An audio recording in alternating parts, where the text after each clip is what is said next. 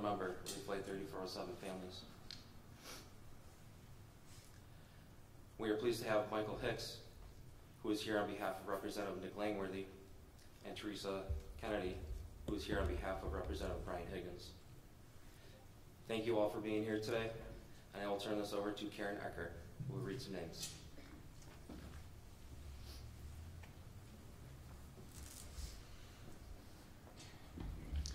Thank you, Chief Herberger, and to all the first responders from February 12th, 2009. It's unbelievable that a commercial flight crashed on one of these local streets just steps away from this fire hall. You are all deeply appreciated. Today, we are honoring the 14th anniversary, and we, we remember those who died. Officially, they were tallied as 45 passengers, four crew, and one on the ground. But they had names and they had lives. Each loss devastated family and friends. They came from eight countries of the world and nine states. They valued education. There were five who had Ivy League degrees. Another was in law school. Two were pursuing MBAs. They made the world a better place. There was a noted 9-11 activist and an internationally renowned human rights activist. There were six veterans from our armed forces with seven combat tours and two Purple Hearts. There were four defense contractors, brilliant engineers and specialists dedicated to protecting our soldiers' lives. They were talented. There were two professional musicians from the Chuck Mangione Band coming to perform the next day with the Buffalo Philharmonic. They were faith-filled. There was a beloved cantor from a local temple and a church elder. There were two married couples on board, one with their 12-year-old child. One passenger was six and a half months pregnant with her first child. 21 left behind spouses and three were engaged.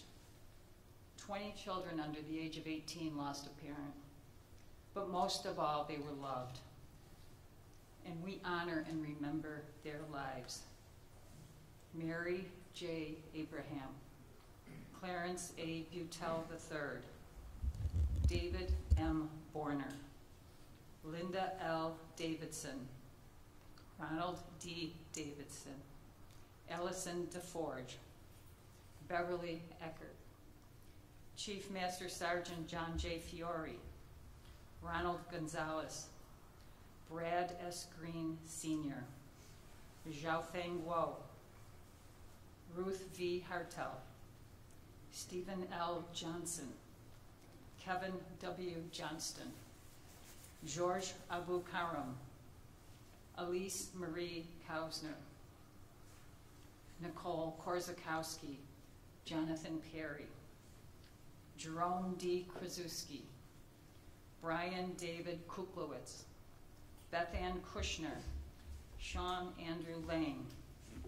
Madeline Maddie Loftus, Lorin A. Maurer, Donald McDonald, Coleman T. Mellett, Don M. Monachino, Dawn E. Mossop, Donald G. Mossop, Sean M. Mossop, Jennifer E. Neal and her unborn baby boy, Gerard Joseph Niewood, Mary Belle Pettys, Flight Attendant Donna L. Prisco, Flight Attendant Matilda Quintero, Ferris M. Reid, Captain Marvin Dean Renslow, Julie Ries, John G. Roberts III, Kristin Marie Safran, First Officer Rebecca Lynn Shaw, Depender Sidhu, Jean Marie Martzoff Srnecz, Darren Tolsma, Susan Alice Wehle,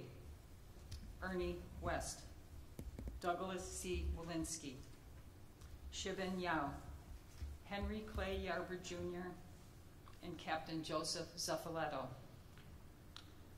What we as the families of Continental Flight 3407 did in their name was to fight for aviation safety improvements so that no other lives would ever be lost to a completely preventable crash. We joined that fight with the National Transportation Safety Board, aviation safety experts, experts, the pilots, and members of Congress who were already sounding the alarm. Congress listened and unanimously passed the Airline Safety Act of 2010. As a testament to this, there hasn't been a fatal crash on a U.S. commercial passenger carrier in these last 14 years. That's the safest period in our nation's history by over a decade. But it's both remarkable and sad that we're still having to go and fight in Washington nearly 14 years later. We were in Washington just this week to remind our elected officials that there are consequences to reducing airline safety standards.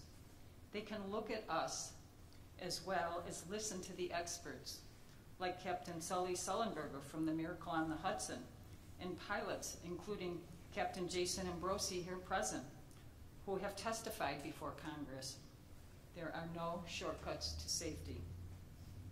I want to thank Captain Jason Ambrosi and the Airline Pilots Association for coming to Clarence, New York to remember and honor our loved ones. And I want to thank them for their professionalism and for their staunch support of these higher aviation safety standards, for they know they are in the cockpit every day, flying each one of us safely to our destinations. Thank you. Karen?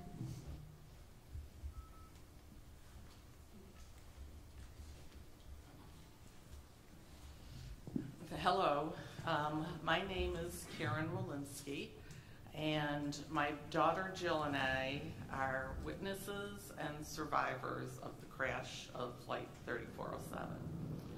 Even after 14 years, I still find it hard to fathom that Jill and I miraculously escaped that night. And I also cannot comprehend the fact that 51 souls, including my mm-hmm. husband Doug, lost their lives at our home, a home that had been filled with love and happiness for our family.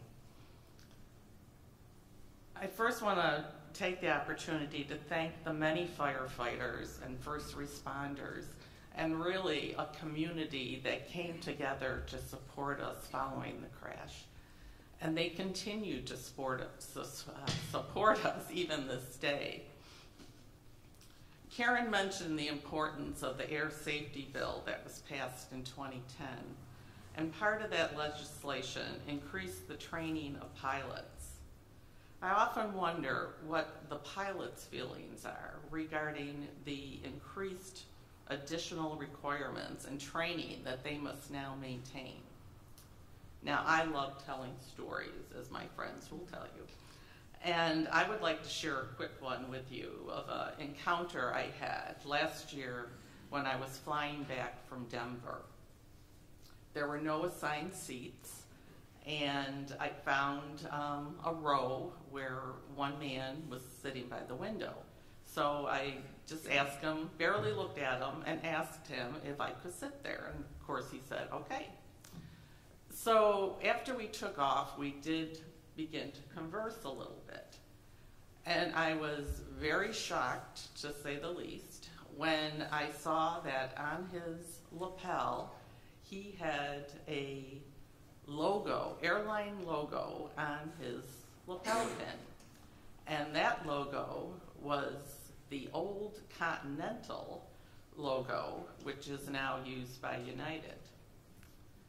Now, after I emerged from the rubble the night in 2009, one of the first things I saw was that Continental logo on the tail of the plane, which was now resting in my kitchen.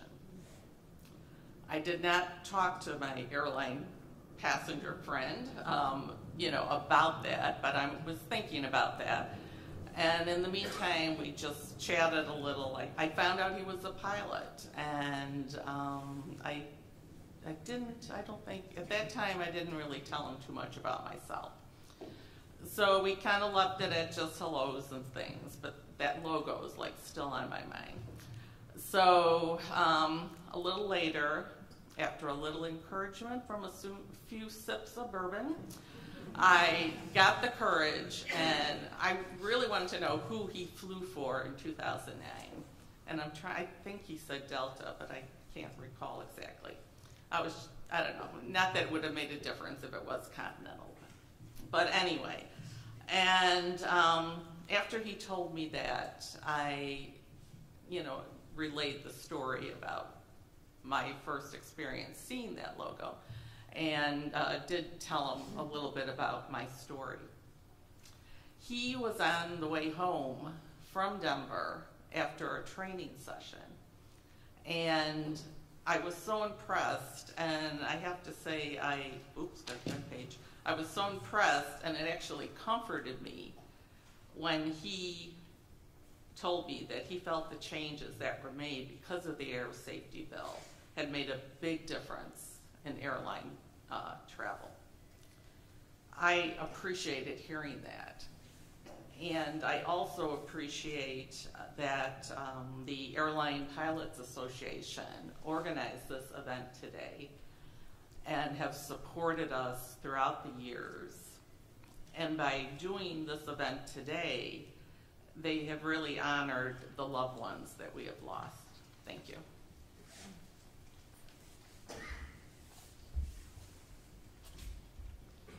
Thank you, Karen.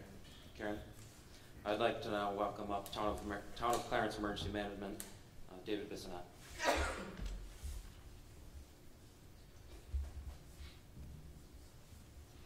Good afternoon.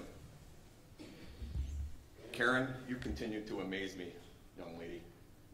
Your experience and your stories and your spin to those stories continue to amaze me. So thank you for those, those thoughts. You've heard the names of 50 loved ones lost that night, February 12, 2009. That loss was not only changing the lives of the 3407 families, but it also changed the lives of this community, its first responders, and myself personally.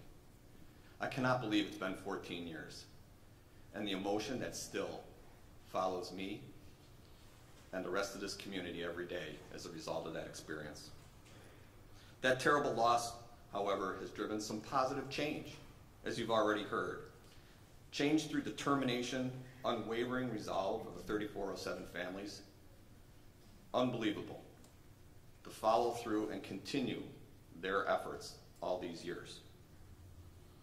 Their dedication has resulted in substantial improvements to pilot qualifications and requirements, making air travel a safer experience.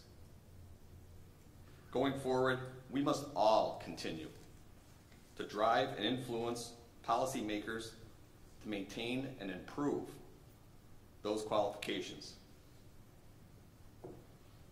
First responders and emergency management communities continue to support that mission so that today's pilots have the skills, capabilities, and necessary needs for the flying community. I want to thank the Airline Pilots Association and Linda Shotwell for organizing today's event. It warrants this attention every year. Thank you.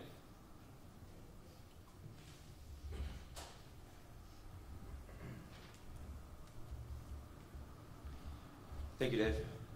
I'd now like to call on Captain Jason Ambrosi.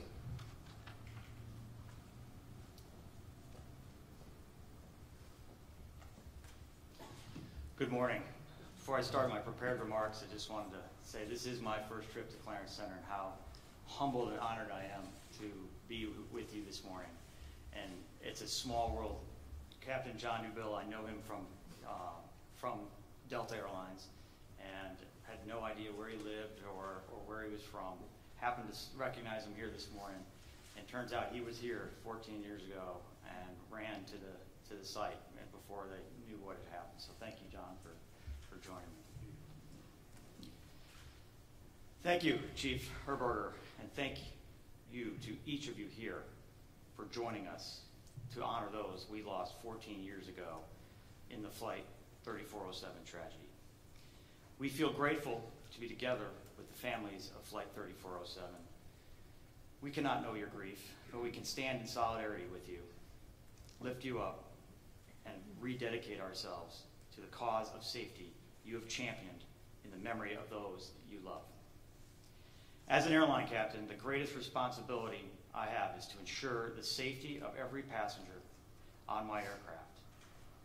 I may not know every individual on my flight, but I do not but I do know I care deeply about their safety as well as that of my crew and those on the ground.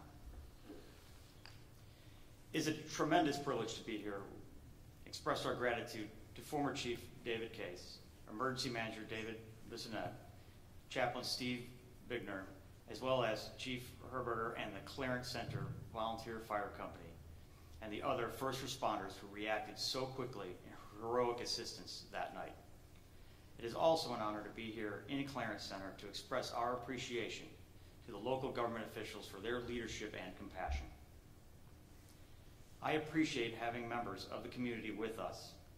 In the face of pain and loss, the people of Clarence Center and Western New York surrounded neighbors and strangers alike with love and support. I want to thank the National Transportation Safety Board and the Federal Aviation Administration and their investigators, as well as the others who assisted with this investigation, for their dedication to ensuring that this nation and the global airline industry learned all it could about how to prevent such an accident from ever happening again. With the tireless determination of the Flight 3407 families, along with the advocacy of many others, including the Airline Pilots Association, this tragedy led the United States to commit to changes that tr- have transformed aviation safety. I would like to recognize Michael Hicks, who is here on behalf of Representative Nick Langworthy, who represents Clarence Center and has a long history of commitment to aviation safety, and Teresa Kennedy, who is with us on behalf of Representative Brian Higgins, who has also been a tremendous champion in enhancing safety in air transportation. Together, each person here today and countless others have contributed to ensuring those we lost in Flight 3407 accident leave a legacy of saving lives in the air and on the ground. A legacy of making sure our country sets an example for the world.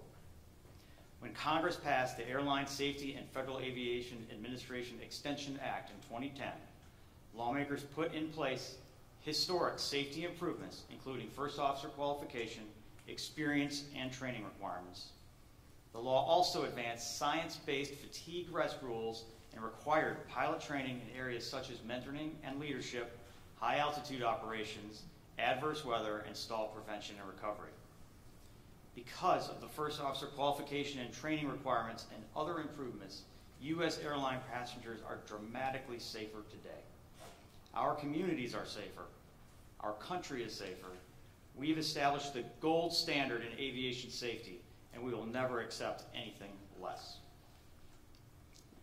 I pledge to you on this solemn day that the Airline Pilots Association will work to make certain the next FAA reauthorization protects and builds on this legacy. We will also do everything we can to ensure that this country does not go backward. Before 2010, we, as a nation, set the safety bar far too low. I commit to you that ALPA pilots will never allow this to happen again. Rather, we will fight to raise the bar, keep flying safe, and ensure that those who lost their lives in Flight 3407 tragedy continue their legacy of safer skies. Thank you.